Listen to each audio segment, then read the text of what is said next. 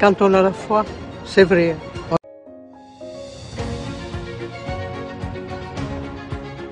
Avant que je sois rempli d'une paix intérieure incroyable qui ne m'a jamais quitté. De Lourdes, là, c'est voilà, toucher le royaume du doigt, quoi, un peu, hein. Je te demande, Marie, d'avoir le courage de vaincre mes peurs. Quand on a la foi, c'est vrai, on dépasse les montagnes.